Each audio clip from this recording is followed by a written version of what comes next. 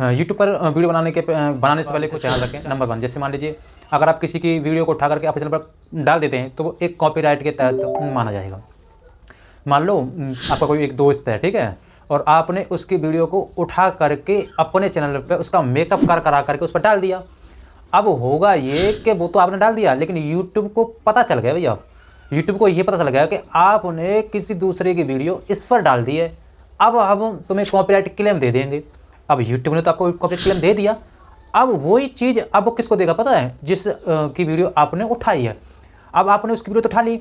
अब उसके पे एक नोटिफिकेशन डाल देगा कि देखो भैया हमने आपको ये चीज़ दे दी है, ये किसी ने आपकी वीडियो को यूज़ कर लिया है, इतना इतना फलाना फलाना पार्ट इसने यूज़ कर लिया है। अब आप इसको चाहो तो स्ट्राइक भी दे सकते हैं। वो बंदा देखेगा कि भाई मेरी वीडियो उसने क्यों डाल ली? क्या मतलब है? तो वो आपको फटाक से स्ट्राइक दे देगा। अब जैसे ही आपके पास स्ट्राइक गई ठीक है तो वो कहता है यूट्यूब अगर आपको आपके पास अगर तीन स्ट्राइक आ गई ना तो भैया आपका चैनल ना ख़त्म डिलीट हो जाएगा पूरा। अगर आपका चैनल डिलीट हो गया तो मतलब ही नहीं बनना, आपको टाइम वेस्ट करने की कोई ज़रूरत ही नहीं है। अब देखो, मैं बताऊँ। दूसरे को डाल दो हटा के तो क्या है, एक चैनल जल्दी मोटाज होता, हो जाता है व्यूज़ अच्छे खासे आते हैं ऑडियो रिटेंशन बन जाता है, बहुत सारी चीज़ें अच्छी खासी बन जाती हैं। तुमको यार अच्छा है दूसरी वीडियो डालनी चाहिए यार, पर ऐसा करो मत। अब मैं आपको एक सजेशन दूँगा, मैं आपको सुझाव बताता हूँ। देखो आप मेहनत करो दबा के मेहनत करो और अपनी खुद की ही वीडियो डालो। अरे अपने फेस वाली वीडियो डाल लो। अगर आपको फेस वाली वीडियो नहीं आती तो आप वॉइस वाली वीडियो डाल लो। उसके लिए आपको भी हाँ उसमें भी ध्यान रखना पड़ेगा भैया।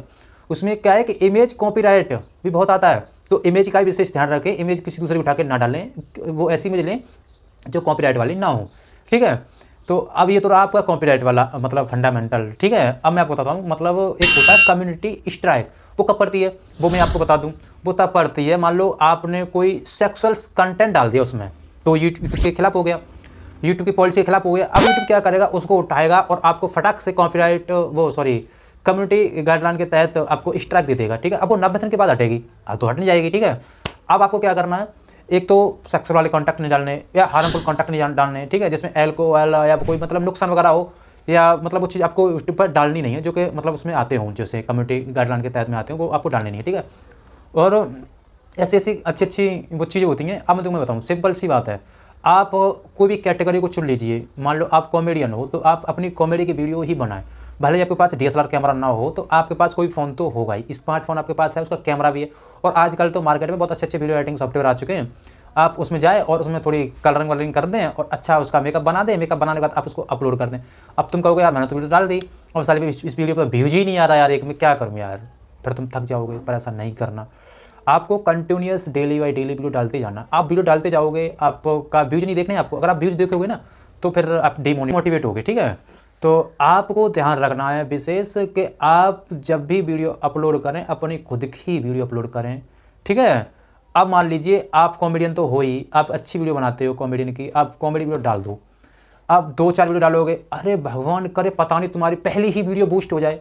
अगर आपकी पहली वीडियो बूस्ट कब होगी? जब आपका थंबनेल क्लिक वेट होगा। और थंबनेल क्लिक वेट बनाने के लिए टेढ़ी उंगली तो करनी पड़ेगी। अब टेढ़ी उंगली कैसे करनी पड़ेगी? तो भैया इसके लिए मेरे चैनल को तो सब्सक्राइब कर लो।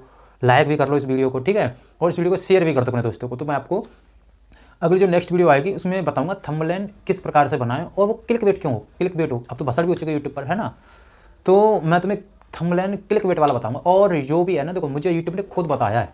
अभी कहूँगा भाई यूट्यूब तुम्हें क्यों बताएगा अभी तो मैं बताऊँ यूट्यूब ने खुद इसलिए मुझे बताया है कि मैं यूट्यूब की गाइडलाइन ये चीज़ सब चीज़ पढ़ता रहता हूँ, है ना?